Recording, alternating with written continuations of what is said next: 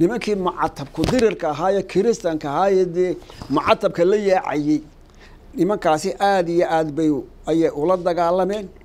Dowladdaasi waxay dowlad aada iyo aada u qiimo badan.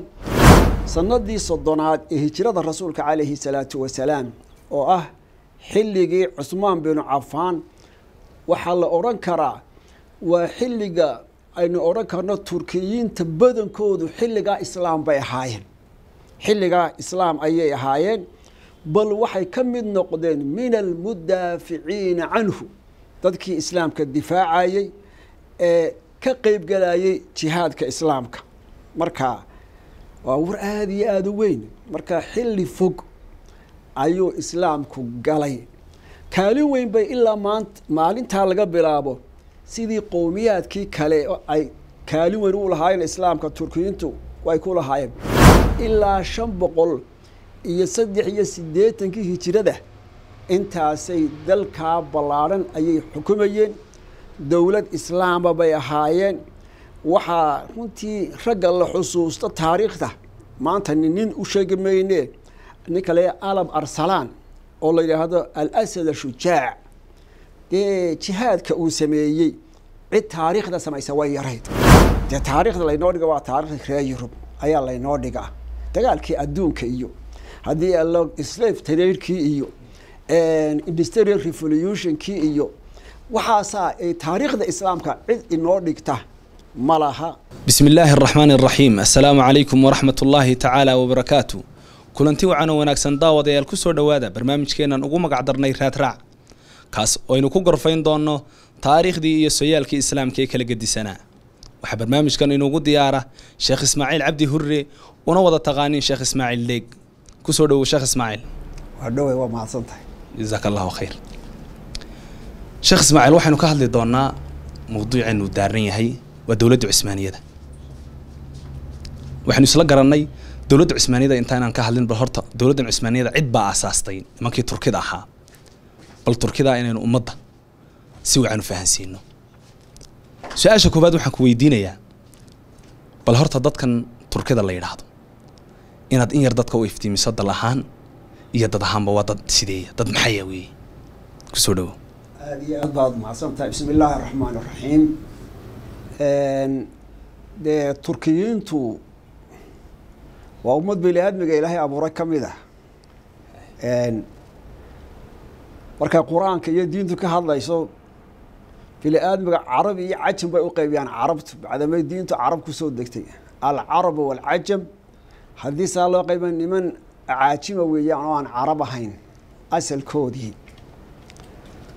Waxaa la yidhaahdaa qarumo fara badan oo ilmo nebi aadanah oo qaaradda aasiya ku noolaa ayay ahaayeen. Waxay ka soo wareegeen baa la yidhahdaa aasiyada fog ilaa waqooyiga dalka jayna qolooyinka qaarkood oo taariikhaha ka hadlaa waxay yidhaahdaan qowmad qowmiyaddani waa euro asia amba waa euro asian euro asian waxay u jeedaan waa dad reer aasiya iyo reer yurub ay iska dhaleen.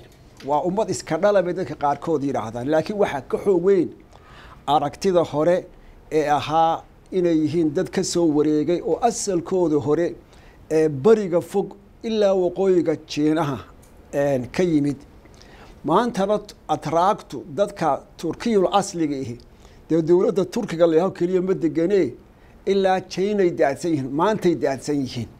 Eeraan bay degan yihiin afghanistan bay wax ka degan yihiin ashiyada ballaaran bay ka ilaa jinahay wax ka degan yihiin. Marka waa qowmiyad ballaaran turkinimadu oo aan ku koobnayn muxuu ahaa dalkan maanta terki leedaha amba turkiya la yidhaahdo.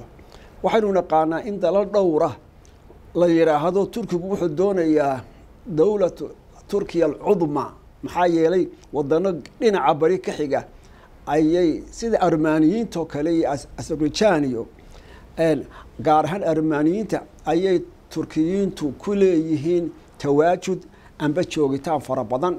Marka waa dad sidaasiya oo taariikhdaa fog ka yimid eshiyada fog oo aan asal ahaan carab ahayn waa tahay. Sheekh ismaaciil su'aasha labaad isla fahanay dadkii si wacan baad u balballaadhisay dadkan turkidu ka hor dowladdii cusmaaniyada intaanay aasaasmin aanay aasaasin dowr intee leeg bay ku lahaayeen fidinta diinta islaamka? Bismi illaahi araxmaan araxiim waxay la tahay dowladda cismaaniyadu amba cusmaaniyadu waa waqti dambe. Marka taariikhda islaamka laga hadlaayo cusmaaniyiintu ka cusmaaniyiin dowla cusmaaniya dowladda la yidhaahdo amba alkhaliifa alcuhmaaniya dee waa dambe bilaamatay sagaal boqol iyo saddex iyo labaatankii hijirada rasuulka calayhi salaatu wasalaam ayay bilaamatay kun sano ka wax ku dhowbay islaamka uu jiray intaan dowladdani aasaasmin dabcan dowladda cusmaaniyiinta oo maanta aynaan ka hadlaynin marxalad horea jirto oo magaca suldaannimada ay ku shaqayn jireen markaa dowladda cusmaaniyiintu waa xilli dambe laakiin qowmiyadda atraagta islaamku waqti fog ayuu galay. Waxaan odhan karnaa laba dhinac amba laba jihaba islaamku uu ka galay. Markii islaamku uu faafayey amba jihaadka islaamka uu socday magaalada madiinina ay ahayd caasimadda islaamka xilligii rasuulka iyo xilligii khulafada labaduba islaamku laba dhaaragshan amba laba dhinood ka dagaalamayey dhinaca waxay ku jihaysnayd shaam iyo waqooyi dhinaca bari iyo ciraaq iyo faris ayuu ahaa. Maxaa yeelay labada dowladood ee xilligaa caalamka ugu weynaaba halkaa jiray. Marka turkiyiintu dhulkan maanta turki la yidhaahdo keliya islaamka kamay qaadanine deegaanada ballaadhan ee aynu sheegnay ayuu islaamku ka gaadhay. Ee turkigan maanta turki la leeyahay keliya halkaasoo keliya atraagtu islaamka kamay qaadan. Marka waxaa la odhan karaa xilligii cumar bin khadaab sagaal sano fadxumaka kadib ayaa koonfurta dalka turkiga ayuu islaamku gaadhay magaalada nimanka ay ku badan yihiin nimanka kurdiyiinta ee diyaarulbakra la yidhaahdo waxaa la yidhaahdaa fadxumaka sagaal sano kadib ayuu islaamku gaadhay marka jihaadkii ka socday shaam ilaa dimishik xarumihiisu markii dambe xilligii umawiyiintu ay noqdeen ilaa xilligii bin cumar bin khadaab koonfurta turkiga waxaa ka gaadhay dhinaca islaamka uu ka gaadhay. Waxaa kaluu ka gaadhay dhinaca kale inuu ka soo gaadhayo dhinaca haddii alla kuu roon yahay barigana uu ka soo gaadhay. Oo markii islaamku uu ku faafay ciraaq ee iiraan uu galay amba faris taariikhdii hore deegaano dhinaca waqooyi ka xiga ayuu islaamku ka gaadhay sanadii labiyo labaatanaad ee hijirada rasuulka calayhi salaatu wasalaam dad fara badan oo turkiyiinah oo deegaankoodu waqooyi ka xigay ciraaq iyo eeraan ayuu islaamku ayuu gaadhay waxay taariikhdu yidhaahdaan xilligaa aan sheegayna labiyo labaatankii nin shahiir basaar la yidhaahdo oo madax ahaayo turkiyiinah iyo deegaankiisu islaamku gaadhay dadkaasi islaamnimaday qaateen waa taariikhda aan ka hadlayno. Labiyo labaatankii ayay qowmiyaadkii ugu horeeyey waa labiyo labaatankii jirada rasuulka calayhi salaatu wasalaam. Waa awaakhiru cahd cumar. Ayay turkiyiintii ugu horeeyey inta islaameen ka mid noqdeen jihaadiyiintii muslimiinta ee jihaadka waday. Marka cismaaniyiintanu waxaan is leeyahay waa shalay. Waa dowlad weyn dabcan waa loo iman doono taarikhda islaamka gashay. Laakiin de islaamku turkiyiintu asal bay ku leeyihiin. Waxa kale oo iyaduna muhiima sanadii soddonaad ee hijirada rasuulka calayhi salaatu wasalaam oo ah xilligii cusmaan binu cafaan waxaa la odhan karaa waa xilliga aynu odhan karno turkiyiinta badankoodu xilligaa islaam bay ahaayeen. Xilligaa islaam ayay ahaayeen bal waxay ka mid noqdeen min almudaaficiina canhu dadkii islaamka difaacayey ee ka qeybgalayay jihaadka islaamka. Marka waa war aada iyo aada u weyn. Marka xilli fog ayuu islaamku galay.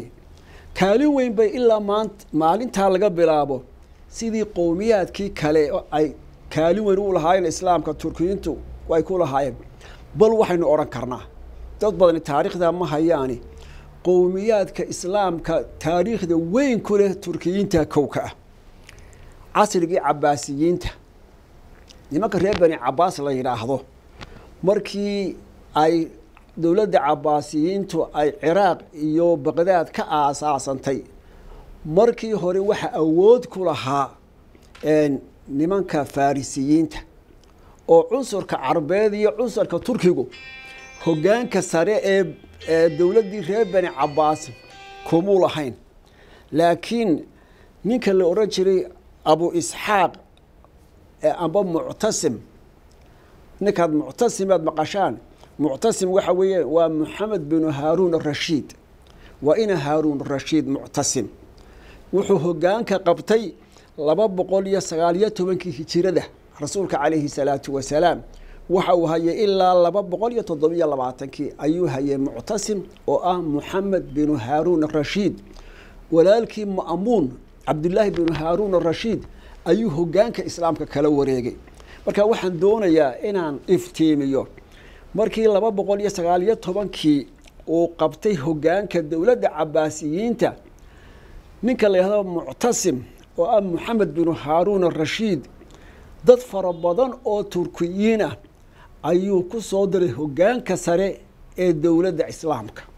Hadday yihiin hoggaanka ciidamada hadday yihiin dhinaca muxuu ahaa idaaradda iyo maamulka wuxuu ku bedelay awooddii ay farisiyiintu ku lahaayeen. Maxaa yeelay farisiyiintu shiico ayay ahaayeen. Waxaana jecelahay inaan dadka u iftiimiyo. Dowrka ay ka qaateen turkiyiintu la dagaalanka shiicada iyo fiditaankooda cid ka qaadatay waa yaray taarikhda islaamka.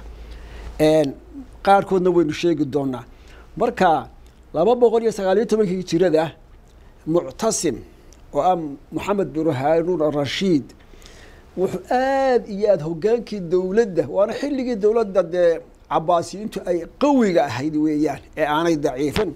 Rag fara badan fara badan fara badan ayuu ku soo daray. Markaa maalintaa laga bilaabo aan ka waramayno xilligaa haaruun arashiid wiilashiisu ay talinayeen ee aan ka waramayno dee awood weyn bay ku yeesheen. Mar hadday khilaafadii reer bani cabaas ay turkiyintu kaalin weyn ku yeesheen waxay la tahay inaad garan karayso dowrka ay ka soo qaateen horumarinta iyo hoggaanka caalamka islaamka. Waxa xusid mudan. Nimanka la yidhaahdo turkiyiintu intaanay dowladda cabaasiyiinta dowladda cusmaaniyiintu dhalan waxaa jirta dowlad caana caana oo ay lahaan jireen nimanka la yidhaahdo turkiyiintu. Waa dowladda salaajiqada la odhan jiray. Dowladda salaajiqada la odhan jiray waxay ahaayeen dadka xukumaa dad turkiyul asliya iyagii cusmaaniyiintu isku meel may ahayn laakiin isku asal bay ahayn xagga asalka turkinimada way ka midaysnaayeen haddii cusmaaniyiintu dalka maanta turkiga la yidhaahdo iyo istanbul iyo waddankaasi hadday iyagu halkaa hoggaankooda u ahaa nimankani waxay deganaayeen bariga waxay deganaayeen khuraasaan iyo ciraaq iyo iiraan khuraasaan waxay ahayd deegaan weyn oo ballaadhan xilligaasi oo gobol weyn oo islaamka ka mid ah khuraasaan. Oo aynu odhan karno wuxuu ku yaalay waqooyiga bari ee iiraan ilaa waqooyiga afghanistan dhulkaa ballaadhan oo khuraasaan la odhan jiray iyo ilaa iiraan ilaa shaam bay markii dambe ku soo gudbeen. Markaa dowlad ballaadhan ballaadhan ayay noqdeen nimanka salaajiqada la yidhaahdo oo ilaa boqol iyo konton sannadood dowlad islaamiya oo sunniya ahaa. Afar boqol iyo labiyo soddonkii hijrada rasuulka calayhi salaatu wasalaam ilaa shan boqol iyo saddex iyo siddeetankii hijrada intaasay dalkaa ballaadhan ayay xukumayeen dowlad islaama bay ahaayeen. Waxaa runtii ragga la xusuusto taariikhda maanta nin u sheegi mayne ninka le alab arsalaan oo la yidhaahdo alasad ashujaac dee jihaadka uu sameeyey cid taariikhda samaysa way yarayd. Dadka ay intaa la dagaalameen waxaa ugu faraha badnaa marka dadka aan diintu gaadhin laga tago nimankii romaaniyiinta ahaa ee byzantinianska la odhan jiray weeyaan aroma sharqi oo dee dabcan iyaga saldhigooda uu ahaa maagaa horena ay weliba caasimadu ahayd dee magaalada istanbul intaanu maxamed alfaatix aanu furin. Marka dowladdaasi dowlad runtii aada iyo aada muhiim u ah ayay ahayd. Waxa ay jihaadka ka qaaday dhul aada iyo aada u fara badan waxay aada iyo aada ula dagaalantay. Marka laga nimankii saliibiyiinta ahaa amba mucatabku dirirka nimanka taariikhda afka ingiriiska dagaalada crusadeska la yidhaahdo nimankii mucatabku dirirka ahaaye kiristanka ahaaye dee mucatabka la yaacayey nimankaasi aada iyo aada bay ayay ula dagaalameen. Dowladdaasi waxay dowlad aada iyo aada u qiimo badan. Waxyaalaha ay ka hortagtay markii hore xilligii cabaasiyiintana waxaynu sheegnay in hoggaanka sare ee maamulka iyo ciidankaba inay qeyb muhiima ku yeesheen xilligii cabaasiyiinta beri fog inagoo sheegnay xilligii muctasim oo dee laba boqol iyo sideed iyo toban shan iyo toban laba boqol laba waa waqti hore kuwa naftoodu fiditaankii shiicada iyo tii kiristanka labadaba aada iyo aad bay ula dagaalameen. Markaa sunniga qeyb muhiima bay ka qaateen nimankani iskuullo waaweyn oo diinta islaamka lagu fidiyo ayay laha cid maanta taqaano ka sheekaysaana way yartahay maxaa yeelay taariikhda marka laga waramayo maanta nolosha muslimiinta oo inaga soomaali guud ahaan aan ka mid nahay dee taariikhda laynoo dhiga waa taarikhda reer yurub ayaa laynoo dhigaa dagaalkii adduunka iyo haddii allo slave traderkii iyo industrial revolutionkii iyo waxaasaa taariikhda islaamka cid inoo dhigta ma laha markaa waxaan qolada odhan lahaa dowlad weyn oo islaam oo ilaa boqol iyo konton sannadood dhul weyn oo ballaadhan xukunto ah ayay ahaayeen hoggaankeeduna turkiyiin buu ahaa. Xilligaasi aada iyo aada bay runtii islaamka ayay sare ugu qaadeen. Culimmadii ku dhex noolayd ee khuraasaan muxuu ahaa ku noolayd dee waxaa ka mid a imaamka weyn ee imaamu shiraazi la yidhaahdo iyo imaamu cabdilmelik aljuwayni imaamu alxarameyn ninka la yidhaahdo iyo imaamu kasaali dee waa aqdaabtii waaweynee diinta islaamka gaar ahaan waxaynu odhan karnaa waa tiirarkii waaweynaaye islaamka gaar ahaan madhabka shaaficiga. Ayay runtii ayay ahaayeen. Marka turkiyiintu dowladda salaajiqada la odhan jiray iyo tii cabaasiyiinta labadaba waxay ku lahaayeen kaalin weyn oo islaamka ay ugu adeegayaan. Qodobka ugu dambeeyan jecelahay intaan cusmaaniinta laga hadal. Marka taariikhdii ay kaalintay ku lahaayeen cabaasiyiinta mar haddaynu sheegnay. Dowladdii gaarka u ahayd ee salaajiqada mar haddii aynu sheegnay waxaa muhiim ah in iyadana aynu ogaano dowladda mamaaligta la odhan jiray oo bedeshay dowladdii ayuubiyiinta la odhan jiray. Salaaxadiin alayuubiya de ragga aad taariikhda ku haystaan waxa weeyaan dowladdani dowladdii bedeshay weeyi. Marka ayuubiyiintuna masar faadumiyiinta bay bedeleen amba cubeediyiintii waa tasalsul taariikhi oo maanta cid aqoon u lihi ay aada iyo aada u kooban tahay. Markaa dowladdan mamaaligta la yidhaahdo mamaaligtu waxay ahaayeen niman saraakiila oo waagii hore addoon ahaa oo eshiya laga keenay waxaana nimankaa keensaday. Markii hore dowladda ayuubiyiinta deedna rag fara badan baa dee dallacay oo saraakiil sare iyo janaraalla iyo haddii afka casriga ah lagu hadli lahaa ayaa noqon lahaayo taqalqul weyn bay ku sameeyeen. Dowladdii ayuubiyiinta ugu dambayntiina markay dowladdii ayuubiyiintu meesha ka baxday nimanka mamaaligta la yidhaahdaa lix boqol iyo sideed iyo afartankii ilaa sagaal boqol iyo saddex iyo labaatankii oo ah taariikhda cusmaaniyiintu ay bilaabmi doonto haddii a la yidhaahdo. Intaasoo dhan nimanka mamaaligta la yidhaahbaa ayaa xukumayey. Nimanka mamaaligta la yidhahdaa mucdamkooduna hogaanka sare badankooduna atraak bay ahaayeen. May wada ahayn dabcan atraak may wada ahayn laakiin badankoodu atraak bay ahaayeen. Marka dee qofka taariikhda turkiyiinta dersa wuxuu arkayaa abaalka islaamka ku leeyihiin. Abaalkay ku leeyihiin. Waxaan insha allah dareeg marka u dambeysa ka hadli doonaa maxaa taariikhda turkiga aasay? Taa waan ka hadli carabtaa kowka ah dadka aasay. Ilaa haddana aasaya.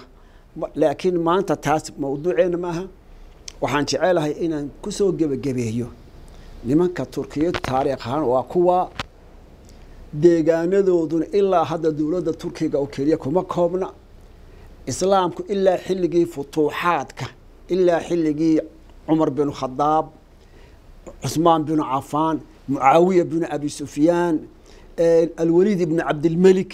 Waxay ahaayeen runtii dee taariikh dheer taariikh dheer bay ahayd. Labada dhinac uu ka galay islaamkuna dhinaca maanta turkiga la yidhaahdana uu ka galay oo markii diyaar albakri sagaal sano fatxumaka kadib uu galay markii dambena ilaa anadol amba cumqu eeraan ayuu islaamku ka galay. Qabaa'il badan oo eshiya deganaydna dhinaca faris iyo wuxuu ka galay.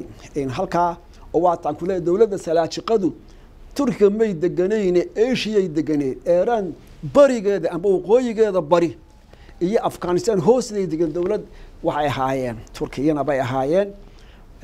Ilaa kaalinta ay ku yeesheen nimankaasi dee mamaaligtii oo mamaaligtuna dee waa nimankii tataarka jebiyey oo ninkii la odhan jiray sayfudiin qidis boqor suldaankaasi iyo daahir baybars hogaankiisii dee nimankii mongolianiska ahaayee tataarka ahaayee islaamka soo burburiyey dowladdii reer bani cabaas burburiyey nimanka soo difaacay.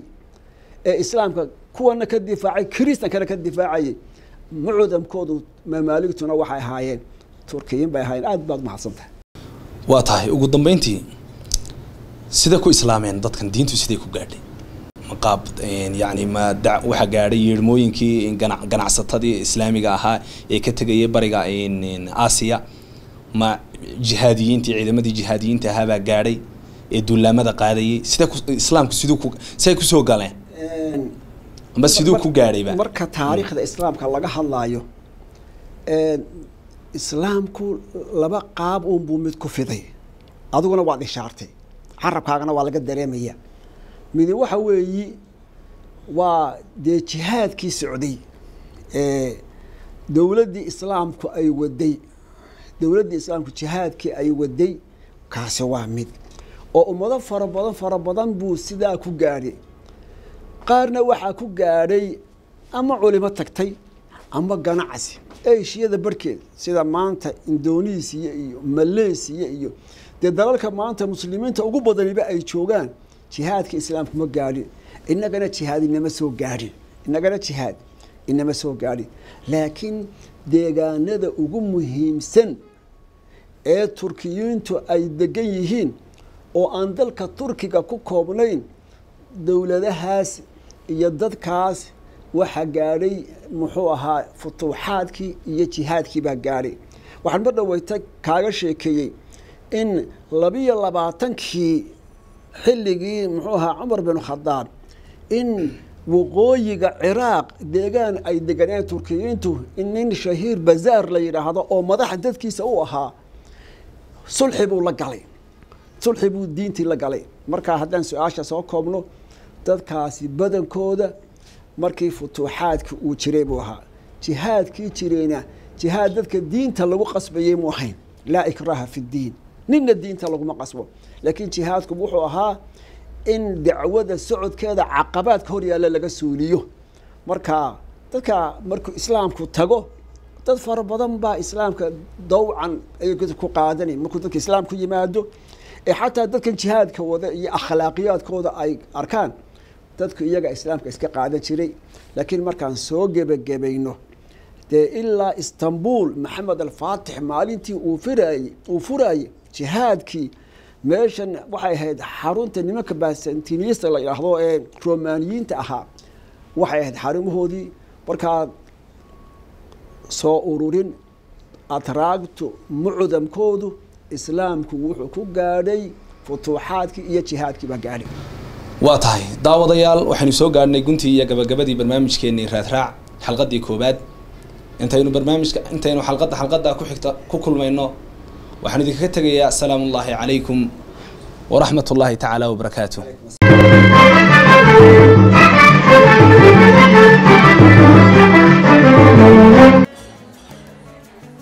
واو واسبوعك في عيسى صاحبي waad ka heshay sooma ما شاء الله صح ما عاد وش بصير waxaan ku shubtay xidhmo furan toban doolar baad ku shuban kartaa shan baad ku shuban kartaa shan iyo toban baad ku shuban kartaa labaatan baad ku shuban kartaa